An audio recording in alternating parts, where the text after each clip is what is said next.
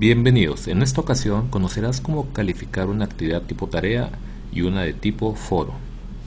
Para calificar una tarea, abres la tarea y encontrarás al final dos botones, ver todos los envíos y calificación.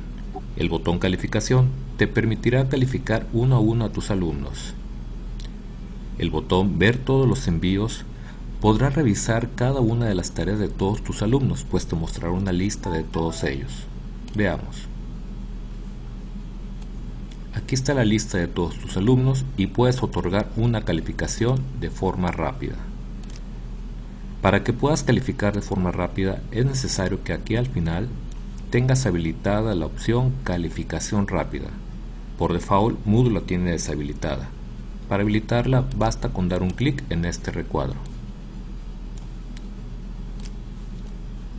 Y listo. Con esto habilitas la calificación rápida. Veamos cómo calificar ahora un foro. Un foro por default no permite otorgar calificaciones. Para esto hay que dar clic al foro,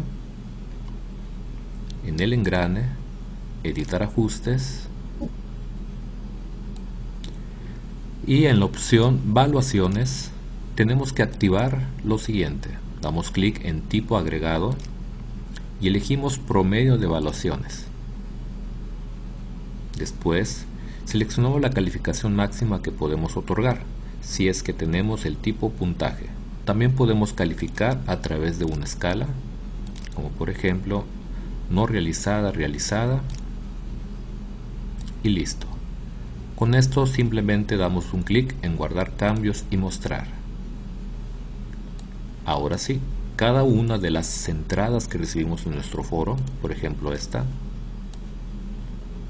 vamos a poder otorgar una calificación.